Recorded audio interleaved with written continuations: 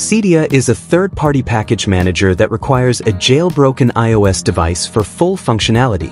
Jailbreaking removes Apple's restrictions, allowing Cydia to install tweaks, apps, and modifications unavailable on the App Store. The process depends on your iOS version and device chipset, e.g., A8, A17. For iOS 15 through 18.4, jailbreak availability ranges from well-established tools for older versions, like iOS 15.x, to experimental or non-existent solutions for the latest, like iOS 18.4. I'll break this down step by step. General prerequisites. Backup. Save your data via iCloud or iTunes, settings, your name, iCloud, iCloud backup, or connect to a computer. Check device and iOS version. Go to Settings General About to confirm your iOS version and device model. Risks. Jailbreaking may void warranties, introduce security risks, or brick your device if mishandled. Proceed cautiously. Internet. A stable connection is required for downloading tools or repos.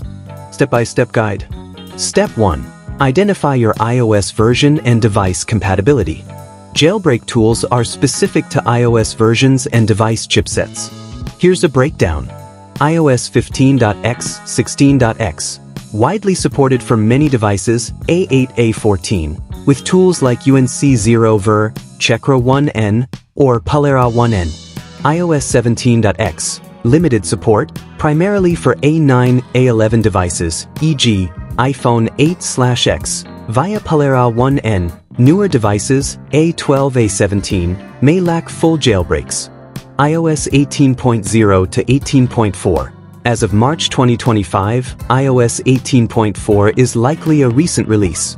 Full jailbreaks may not exist yet, but semi-jailbreak or alternative solutions, e.g., Cydia 2, Xeon, could be options. For all devices, older models, e.g. iPhone 6s to X, have broader jailbreak support, while newer ones, e.g. iPhone 14 to 16, are harder to jailbreak due to advanced security, A12, A17 chips.